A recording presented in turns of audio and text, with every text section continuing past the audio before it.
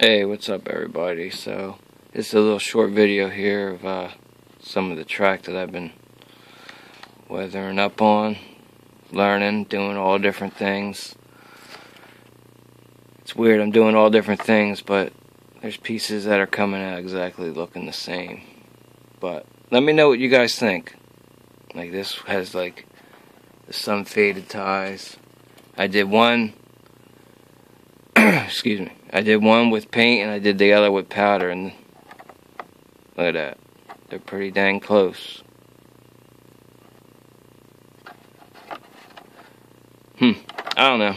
But I'm just messing around here trying to figure out